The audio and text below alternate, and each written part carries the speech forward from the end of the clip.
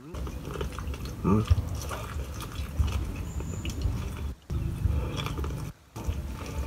Sarap. Namiss ko yung mais.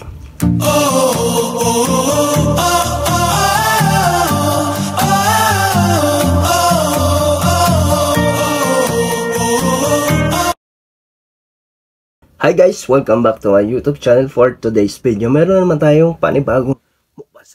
Oh, delicious at mukbang yummy yummy. So meron tayo ditong nilagang mais. Ayan, sariwang-sariwang nilagang mais guys.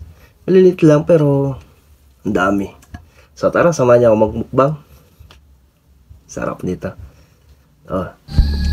Ayan na nga guys, talagang nilantakan ko na ng kain ng mukbang ang ating napakasarap na nilagang mais. Talagang mapapawa tayo sa sobrang sarap at the same time manamis-namis ang nilagang mais. Guys, na pulutan-pulat ang mais. Hmm.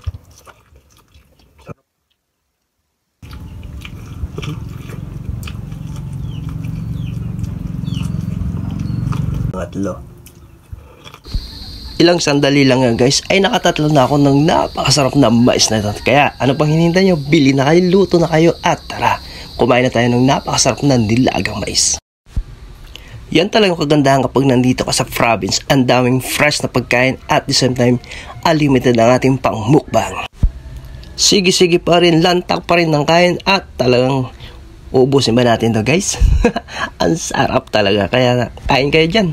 Ayan na nga guys, talagang solved na solved na tayo sa ating mukbang ngayon. At the same time guys, kung makabago lamang ka dyan, pa-like and share. At don't forget to subscribe my YouTube channel, Jobby Habreo Vlogs.